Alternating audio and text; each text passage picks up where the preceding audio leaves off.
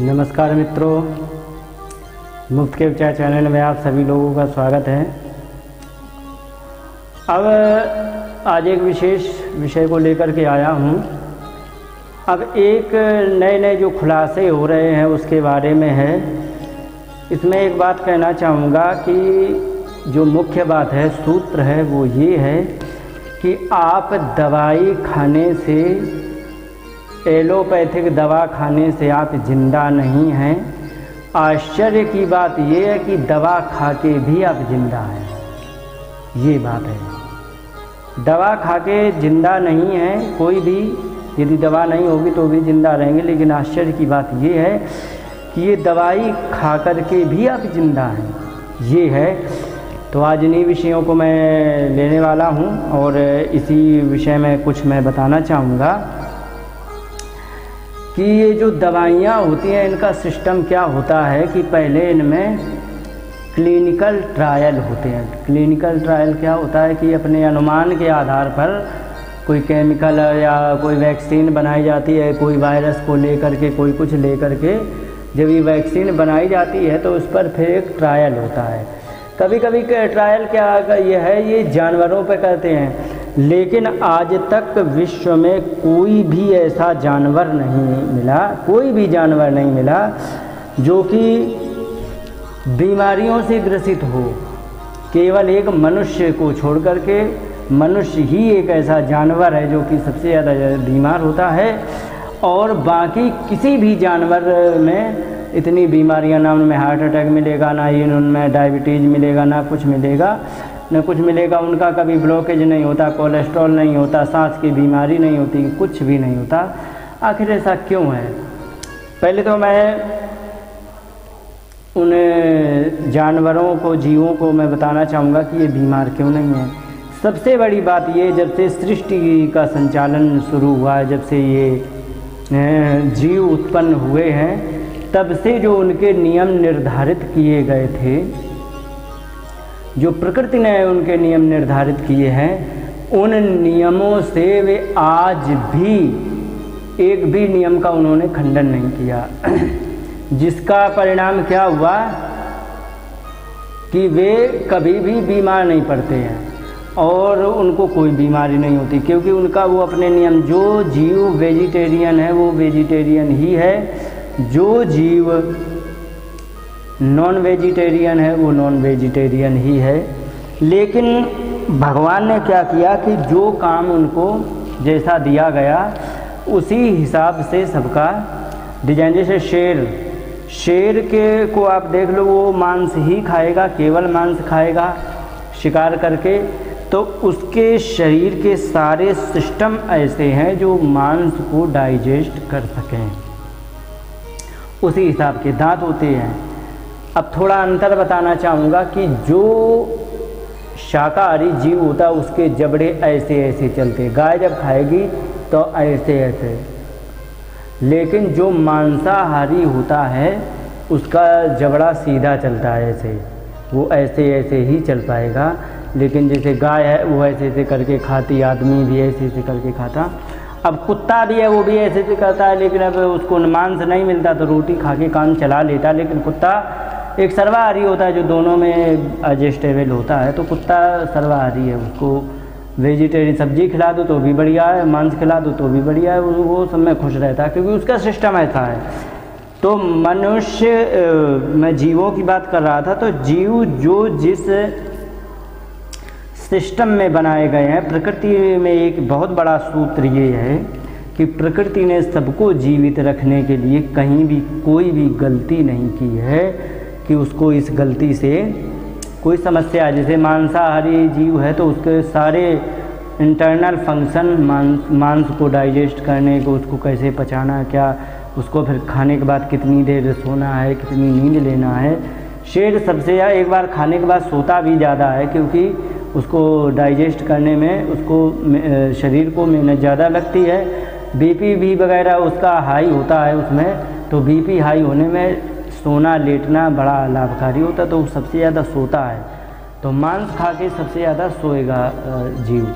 तो वो सोता भी ज़्यादा है और वो जल्दी भोजन भी नहीं करेगा। शेर को एक बार खिला दो, एक एक, दो दिन तो उसके लिए नॉर्मल आराम से कट जाते, जब ज़्यादा भूख लगती फिर व्यवस्था करता है तो इस प्रकार से है। तो कहने का मतलब मनुष्य है और सिस्टम अच्छा होने के कारण उसमें क्या होता है कि ये अपने सिस्टम के दायरे में रहते हैं तो उनको कभी भी बीमारियाँ नहीं होती। हाथी है, बीमार नहीं पड़ता। घोड़ा, गधा बीमार नहीं पड़ते। कुत्ता बीमार नहीं पड़ते। गाय बीमार नहीं पड़ते। ये सब क्यों? क्योंकि ये अपने सिस्टम के अंदर रहते। मनुष्य एक ऐसा मूर्ख जीव है जो कि सबसे ज़्यादा बीमार पड़ता है। अब मैं आपसे एक बात पूछना चाहूँगा कि जब ये जीव बीमार कभी नहीं पड़ते हैं और, ईश्वर कहते हैं कि जो सबसे सर्वोत्तम कृति हमारी इस सृष्टि में है वो मनुष्य है सबसे अच्छी है। तो जब सबसे अच्छी कृति मनुष्य की है तो मनुष्य बीमार क्यों है? भगवान ने ऐसी कौन सी दुश्मनी निकाली है मनुष्य से जो भी सबसे ज़्यादा बीमार मिलता? इसका कारण सिर्फ़ और सिर्फ़ ये है, उसके स्वयं के द्वारा की हुई मात्र गलतियाँ। बस दूसरी कोई नहीं।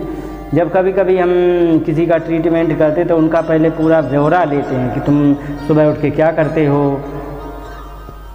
शाम तक क्या करते? क्या करते हो? क्या खाना पसंद करते हो? किस समय क्या खाते हो? क्या नहीं खाते हो? कैसे खाते हो? किस सिस्टम से खाते हो? सारा जब ब्यौरा लेता हूँ तो उसमें कहीं ना कहीं फॉल्ट होती ज़रूर है। क्योंकि यदि आप बीमार हो तो फॉल्ट ज़रूर है। फॉल्ट है, तब आप बीमार हो। बीमार होकर के आप फाल्ट नहीं करते। पहले फाल्ट करते, तब बीमार पड़ते। तो उस फाल्ट को ठीक कर देता हूँ तो बहुत से लगभग 90 परसेंट लोग बिना दवा के, बिना कोई आयुर्वेदिक दवा की भी आवश्यकता नहीं पड़ती। बहुत सारी समस्याएँ ऐसी होती गैस वैस की बीमारी आसानी से ठीक हो जाते। लेकिन जब ये सब चीज़ें हैं तो मनुष्य सबसे ज़्यादा बीमार क्यों है? वो अपनी गलती से। अब उस गलती में कुछ विदेशियों ने इसमें धंधे अपनाए कि बीमार हैं। जैसे एक स्पष्ट जाने दो अमेरिकन एक कंपनी है ना, नाम क्या लेना कोई भगवान का नाम हो तो लिया जाए। सबसे बड़े पैसे वाले में बताई जाती तो उसके भी मेडिकल क्षेत्र में इन्वेस्टमेंट बहुत होती है वो कमाता है पैसे। तो ये क्या है कि ये वैक्सीन पर खोज करते हैं। खोज करने के बाद फिर उसका ट्रायल होता। है ट्रायल होने के पहले कुछ प्रोसेस होता। है प्रोसेस ये होता है कि एक रजिस्ट्रेशन उसको करना पड़ता है कि देखो हम इस दवा का ट्रायल कर रहे हैं रजिस्ट्रेशन कर दो। हमें इस दवा का ट्रायल करना है। तो ट्रायल करने के लिए किस विषय की दवा है साहब? किस बीमारी की? ये है। अच्छा तो उसका ट्रायल किया जाता है। ट्रायल करने में क्या करते हैं कि एक बात पक्की होती है कि एक मिस पॉइंट होता है, एक प्लस पॉइंट होता है, एक माइनस पॉइंट होता है। किसी को दवा लग जाती, किसी को नहीं लगती, किसी को लगती, किसी को नहीं लगती। तो ज़्यादातर एलोपैथिक दवाइयाँ जितनी भी हैं, वे मात्र 25 परसेंट किसी किसी पे असर कर जाती अब उनको रिकॉर्ड दिखाना होता है कि हमने ये ट्रायल में इतना ये लाभ हुआ, हमारी ये दवाई का पेटेंट दे दो और मैं इस बीमारी के लिए दवा बेचना चाह रहा हूँ, हमें पेटेंट मिले। तो फिर वे पेटेंट करा देते अब उसमें क्या ट्रायल उनके हाथों में होता है, सब कुछ उन्हीं के हाथों में होता है। तो जो माइनस पॉइंट होते हैं, उनको रिकॉर्ड से हटा दिए जाते हैं। और रिकॉर्ड से हटाने के बाद जो प्लस पॉइंट होते हैं, उनको ले लिया जाता है। और फिर वो जब जब ये देखा जाता कि हाँ ठीक है तो उसको पेटेंट दे दिया। पेटेंट देने के बाद फिर वो दवाई धड़ल्ले से बिकने लगती है। और फिर जब वो धड़ल्ले से बिकती है तो चूँकि 25 परसेंट ही किसी किसी को लाभ कर रही थी, बाकी सब 75 परसेंट नहीं तो वो दवा जब धड़ल्ले से मार्केट में बिकने लग जाती है तो दो चार साल बाद जब उसका साइड इफ़ेक्ट आता है, तब उसमें फिर एक कंप्लेंट की जाती है, इस दवा से ये साइड इफ़ेक्ट हुआ उस दवा से ये साइड इफ़ेक्ट हुआ, इस दवा से ये।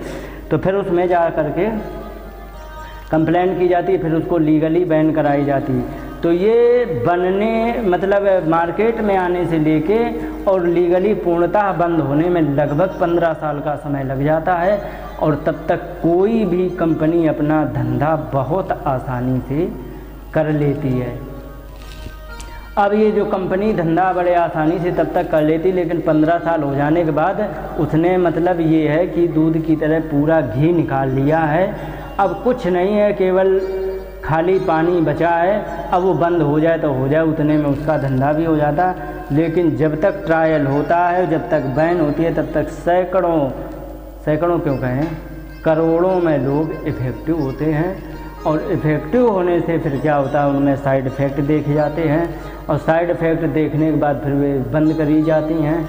तो ये सिस्टम चलता। अब एक बात कहना चाहूँगा कि अगर जो प्रत्येक दवा के प्लस और माइनस दोनों रिज़ल्ट हर एक दवा की बात कर रहा हूँ, दुनिया में जो भी टैबलेट के नाम से आ रहा, प्रत्येक दवा का अगर जो प्लस माइनस दोनों पॉइंट रिकॉर्ड में रखे जाते तो आज विश्व में एक भी टेबलेट का कोई ब्रांड नाम नहीं होता। कोई भी दवाई, चाहे वो इंडियन हो, चाहे अमेरिकन हो, कहीं की भी हो, वो कोई दवा नहीं आती।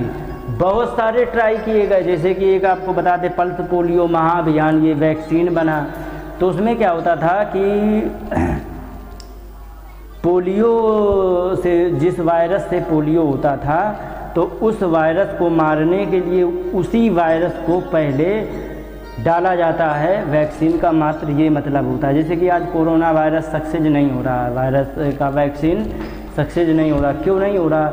क्योंकि वो वायरस ऐसा है कि वो हर क्षण अपने रूप को बदल देता है। जैसे कि आज, जैसे भारत में ही देखो, गुजरात में कोई और टाइप का कोरोना वायरस है, महाराष्ट्र में कोई और टाइप का यूपी में कोई और टाइप का, कहीं कोई और टाइप का, कहीं कोई और टाइप का, और भारत में कोई और टाइप का, इटली में कोई और टाइप का, अमेरिका में कोई और, चीन में और थोड़ा थोड़ा डिफरेंट होता है।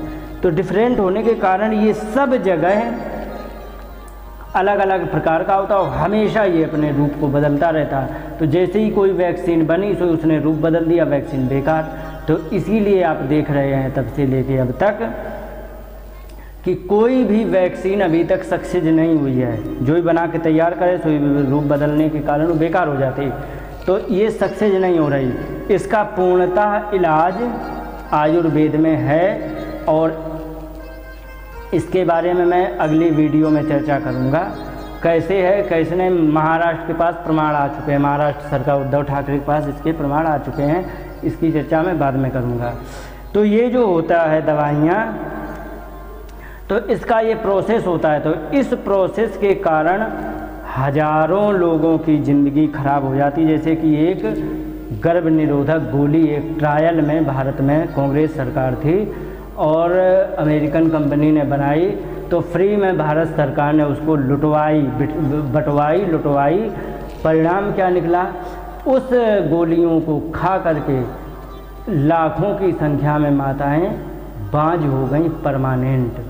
क्योंकि उसका सिस्टम क्या होता है कि भाई, जो चीज़ है जिस चीज़ को ब्लॉक करता है, शरीर की एक कैपेसिटी है, कि कोई चीज़ यदि उठे, उसको तुरंत दबा दो, उठे, फिर तुरंत दबा दो, फिर उठे, फिर तुरंत दबा दो तो क्या होता है कि फिर वो उठना बंद कर देता है। जैसे कि कोई उदाहरण ले लें, जैसे कि कोई तबला वाला है, ढोलक वाला है, तबला वाला है, पहले वो अभ्यास करता है अच्छा तिरकट, धाधा तिरकट करके धीरे धीरे अभ्यास करता है और बढ़ता जाता है।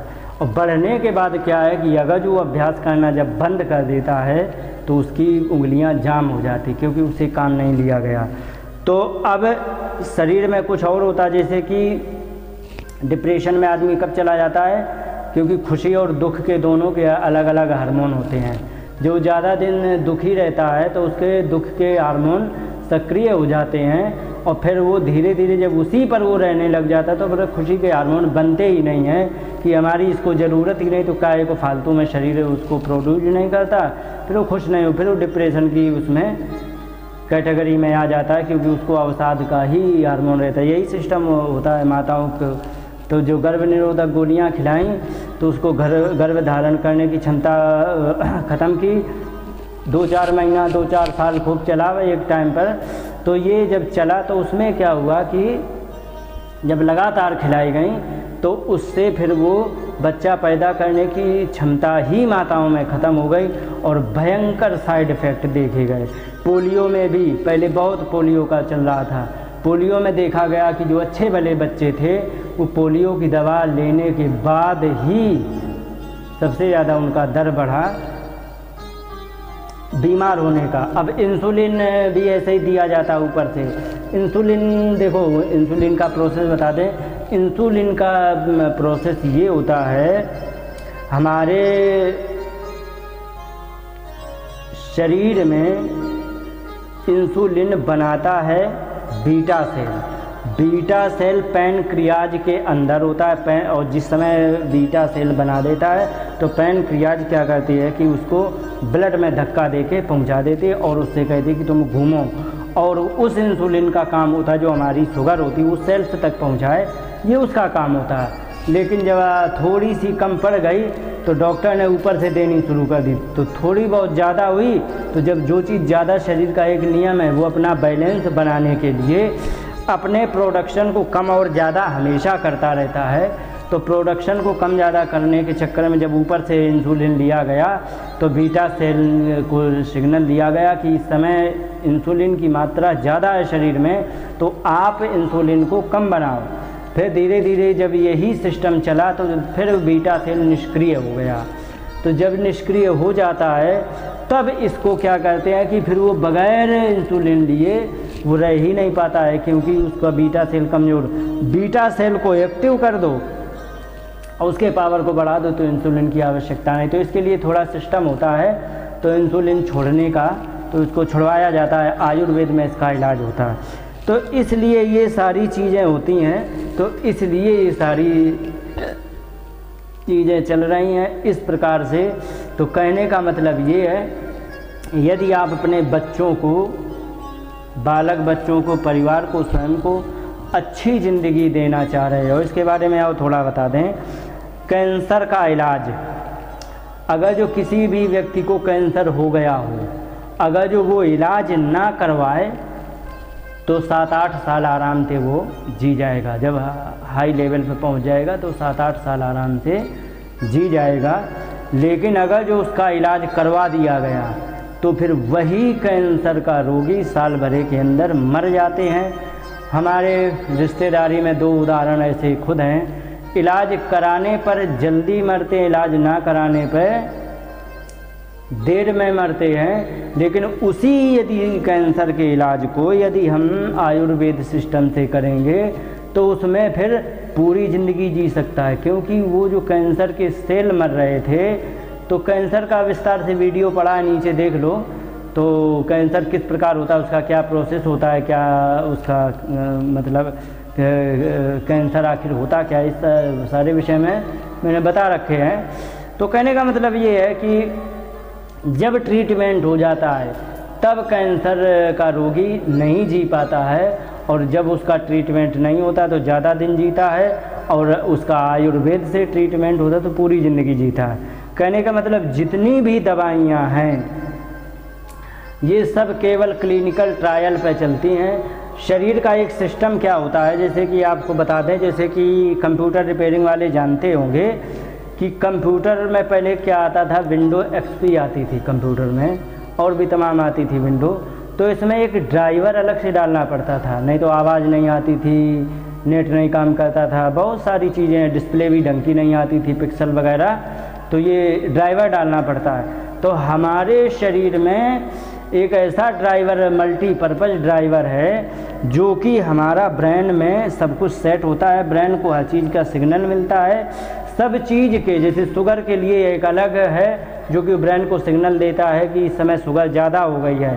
तो क्या होता है कि शुगर को फिर वो थोड़े से इकट्ठे कर लेता है, ज़्यादा है तो उसको साइड में रख लो।